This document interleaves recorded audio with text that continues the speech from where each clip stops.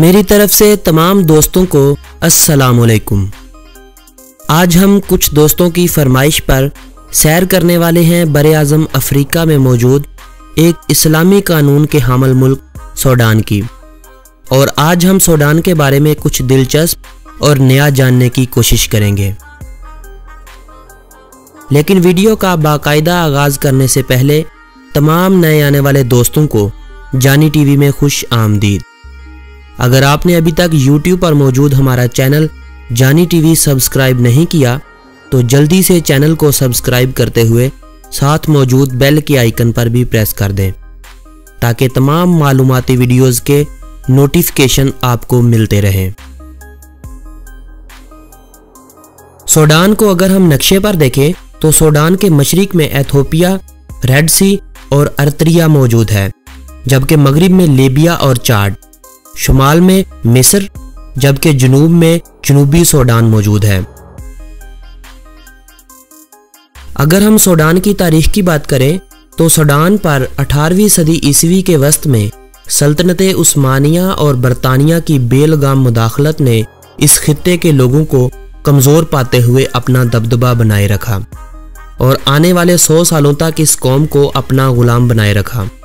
یاد رہے کہ انیسویں صدی کے آغاز سے پہلے برطانیہ کا قبضہ زیادہ علاقوں پر تھا۔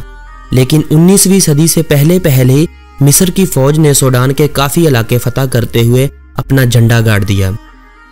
مصر اور برطانیہ دونوں کی یہی کوشش رہی کہ ایک قابض حکومت کو یہاں سے نکالا جائے، لیکن ایسا ممکن نہ ہو سکا۔ آخر کار اپریل انیس سو باون میں سوڈان حکومت نے ایک خود حکومتی آئین کا اعلان کر دیا۔ جنوری انیس سو چون میں نئی پارلیمنٹ کا اجلاس ہوا، جس میں نیشنل پارٹی کے اسماعیل الزہرا کو وزیر اعظم منتخب کر لیا گیا۔ جس کے بعد تمام اداروں سے برطانویوں کی واپسی اور سوڈانی لوگوں کی بھرتی کا عمل شروع ہوا۔ آخرکار یکم جنوری انیس سو چھپن کو اسماعیل الزہرا نے آزاد اور جمہوری حکومت کا اعلان کر دیا۔ سوڈان کی آزادی کے ساتھ ہی یہ ملک دنیا بھر میں جمہوریہ السودان کے نام سے جانا جانے لگا۔ انیس سو چھپن سے لے کر نو جولائی دو ہزار گیارہ تک سوڈان افریقہ کے سب سے بڑا ملک ہونے کا اعزاز رکھتا تھا۔ دو ہزار گیارہ میں جنوبی سوڈان کی علیحدگی کے بعد سوڈان رقبے کے لحاظ سے افریقہ کا تیسرا بڑا ملک ہے۔ پہلے نمبر پر الجیریا اور دوسرے نمبر پر ریپبلک آف کانگو ہے۔ جبکہ تیسرے نمبر پر سوڈان۔ اٹھارہ لاکھ اکسٹھ ہزار چار سو چوراسی مربع کلومیٹر رقبے کے ساتھ سوڈان دنیا بھر میں سولہویں نمبر پر شمار ہوتا ہے، جبکہ دو ہزار گیارہ سے پہلے سوڈان دنیا بھر میں دسویں نمبر پر شمار ہوتا تھا۔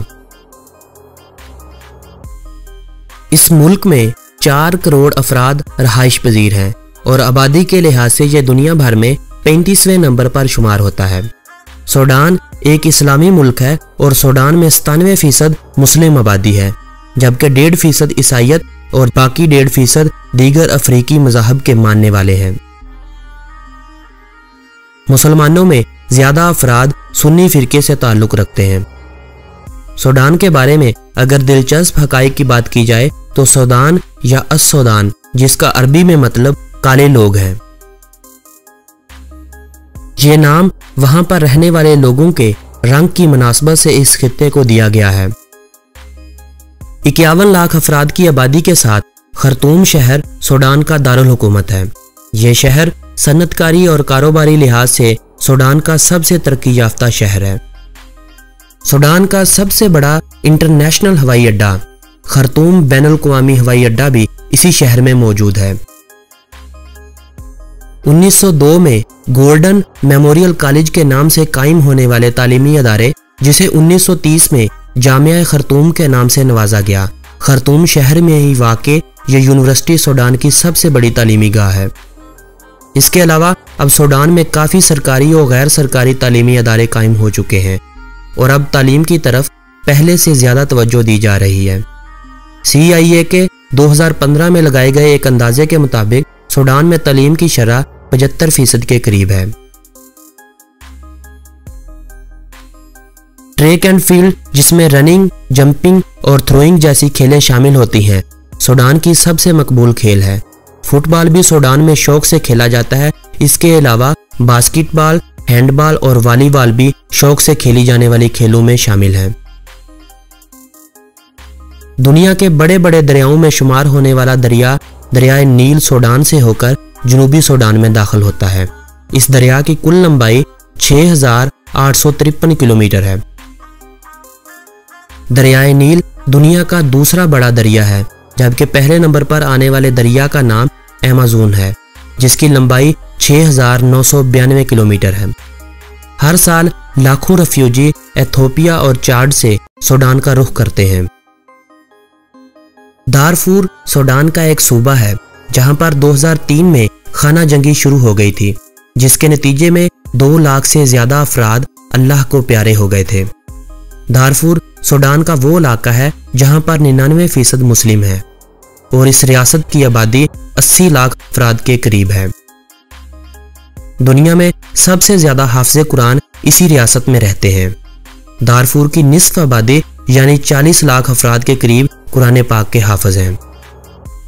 دارفور کا اصل مسئلہ یہ ہے کہ وہاں پر عربی نسل سے تعلق رکھنے والے قبائل سرات کے شعبہ سے منسلک ہیں، جبکہ افریقی نسل کے بشندے بھیڑ بکریاں پال کر گزارا کرتے ہیں۔ یہ دنیا کا دستور ہے کہ کاشتکار اور چرواہوں کی کبھی آپس میں نہیں بنتی۔ یہی وجہ وہاں پر ہونے والی جنگ کی ایک بڑی وجہ بنی تھی۔ دارفور میں تیل اور یورینیم کے ذخائر کا بھی انکشاف ہوا ہے، لیکن دشمنان اسلام نہیں چاہتے کہ سوڈان ترقی کرے۔ لہٰذا ریشہ دوانی کر کے ملک کے اطراف میں شور برپا کر رہے ہیں، تاکہ اس سرزمین کو آخر کار چار چھوٹی چھوٹی ریاستوں میں تقسیم کر دیا جائے۔ یکم جنوری سوڈان کا قومی دن ہے، جو بڑے شوق سے سوڈانی قوم مناتی ہے۔ سوڈان میں بسنے والی قوم کو سوڈانی کہا جاتا ہے، جبکہ سوڈان میں بولی جانے والی اور سرکاری زبان کا حق عربی زبان کو حاصل ہے۔ عربی کے علاوہ انگلش، یونانی، دومری، فر اور دیگر زبانیں قبائل کے حساب سے بولی جاتی ہیں۔ سوڈان میں پانچ سو مختلف تلفظ کے ساتھ ایک سو چودہ زبانیں بولی جاتی ہیں۔ حالانکہ سوڈان پاکستان سے کافی پیچھے اور غریب ممالک میں شمار ہوتا ہے، لیکن پھر بھی سوڈان کا ایک پاؤنڈ پاکستانی پندرہ اشاریہ ستاسی روپوں کے برابر ہے۔ وقت کے لحاظ سے سوڈان پاکستان سے تین گھنٹے پیچھے ہے۔ سوڈان کا کالنگ کوڈ پلس دو سو انچاس ہے۔ سوڈان افریقہ میں کاشتکاری کے قابل ایک زرخیز ملک ہے۔ افریقہ کے دیگر ممالک کو سوڈان سے کھانے پینے کی اشیاء ایکسپورٹ کی جاتی ہیں، جن میں گنا، آلو، کیلے اور آم قابل ذکر ہیں۔ جبکہ سوڈان تیل، سونے، کاپر، زنک چاندی اور لوہے کی فروخت سے بھی اپنی آمدنی میں اضافہ کرتا ہے۔ Great Nile Petroleum Operating Company Sudan کی سب سے بڑی کمپنی ہے، جس میں سب سے زیادہ کردار چائنا کا ہے۔ چائنا کے انجینئر اور چائنا کی مشینری استعمال کی جاتی ہے۔ اس کمپنی میں چالیس فیصد شیئر چائنا کا ہے۔ دو ہزار گیارہ میں جنوبی سوڈان کی علیحدگی کے بعد سوڈان کے تیل کے پچہتر فیصد ذخائر جنوبی سوڈان کے حصے میں چلے گئے تھے۔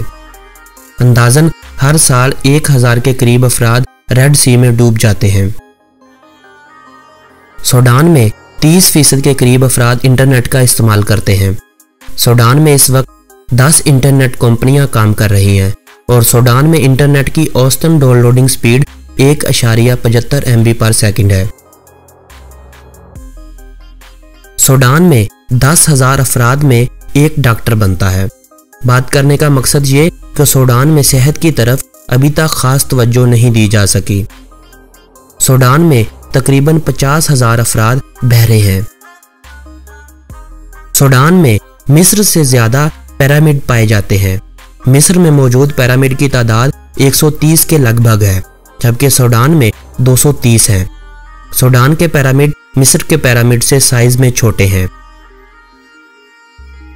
انیس سو نوے سے سوڈان نے اسامہ بن لادن کو پانچ سال تک پناہ دی تھی۔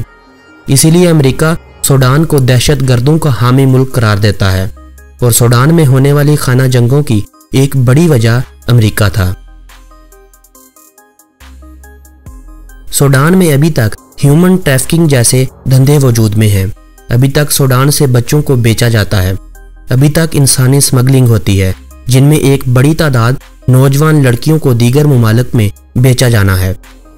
سوڈان غریب ممالک میں شمار ہوتا ہے۔ اسی لیے سوڈان میں رہن سہن دنیا کے دیگر ممالک کے مقابلے میں بہت پیچھے ہے۔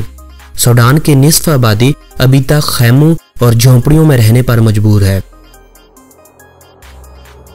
سوڈان میں شادی کے لیے لڑکے کو اٹھارہ سال یا اٹھارہ سال سے بڑا، جبکہ لڑکی کو سولہ سال یا سولہ سال سے بڑا ہونا ضروری ہے۔ اور سوڈان میں زیادہ تر شادیاں خاندان میں ہی کزنوں کے درمیان کی جاتی ہیں۔ شاید یہ بات آپ لوگ سوڈان کے بارے میں نہ جانتے ہوں۔ جب دارفور سوڈان کے صوبے سے پہلے ایک اسلامی سلطنت مانی جاتی تھی۔ ان دنوں میں مصر نے غلاف کعبہ بھیجنے میں تاخیر کی۔ تو اس وقت کے دارفور کے سلطان علی بن دینار نے دارفور میں غلاف کعبہ کو تیار کرنے کے لیے کارخانے کا قیام عمل میں لایا تھا۔